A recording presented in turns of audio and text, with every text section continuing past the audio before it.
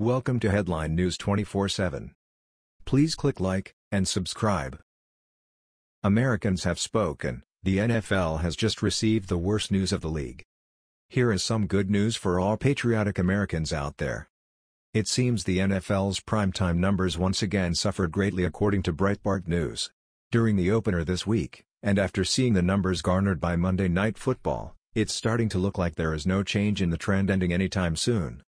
Here is what the assistant editor at Sports Business Daily, Austin Karp, had to say about the numbers. Austin Karp. Jets Lions is lowest early window MNF opener in at least a dozen years. Blowouts never good.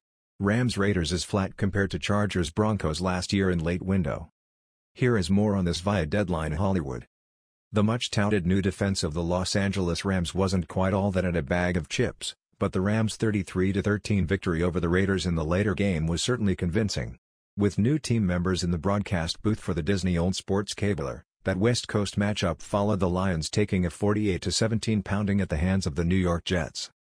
The start of the 49th season of MNF and ESPN took a small ratings hit last night compared with incomplete early numbers last year. That's a hard fact for the NFL coming after Thursday's 2018-2019 kickoff game on NBC fell to a near-decade viewership low and Sunday Night Football stumbled in its season premiere. With a 7.5 metered market result for the Jets-Lions and a 7.0 in the early metrics for Rams-Raiders, last night's MNF season opener slipped 4% from the doubleheader of September 11, 2017. That doubleheader was down double digits from the 2016 opener, which was down hard from the year before.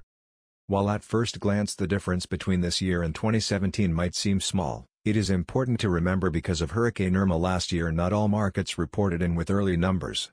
So, the results for the Minnesota Vikings 29-19 win over the New Orleans Saints and the Denver Broncos 24-21 victory over the Los Angeles Chargers were based on only 48 of the usual 56 markets that make up the first round of ratings. It means the ratings decline for this year might be more in line with the overall sagging response the NFL and its various broadcasters have seen the past couple of years. Still, it seems pretty clear ESPN will win Monday on all of TV, even with the likes of Bachelor in Paradise on ABC and the season finale of American Ninja Warrior on NBC. Of course, ABC stations in LA, Detroit and San Francisco all carried the NFL games, as did the CW in New York. Next week's MNF sees the Seattle Seahawks taking on the Chicago Bears in the Windy City.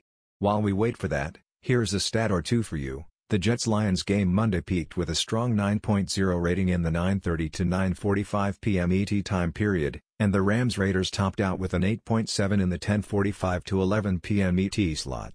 And today, on the 17th anniversary of the attacks of 9-11, take a moment to remember and respect those we lost that day and since.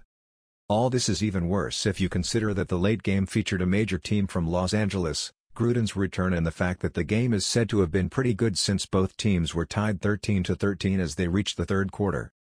And of course, President Trump chimed in on the crashing ratings of a sport that's close to being on life support.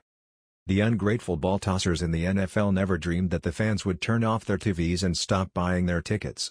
But that's what's happening here. And the best part is that since most of these guys are barely literate and don't understand economics they can't really understand that sooner or later their own pocketbooks will be taking a hit. And when that happens they will be asking us fans to please return and they will be standing taller for the national anthem than ever before. Because you see, all this from the beginning was a temper tantrum from a player who was benched for plainly enough, not being a very good player. Sure our country isn't perfect, but it's the best ever known to man, and it's the one who is dumb enough to pay a bunch of ball-tossing ingrates an average of 2.5 million a year to do what most people would gladly do as a hobby. Throw around a damn ball. That was the news. We thought you might be interested in knowing about this. Please click like and subscribe. Thank you.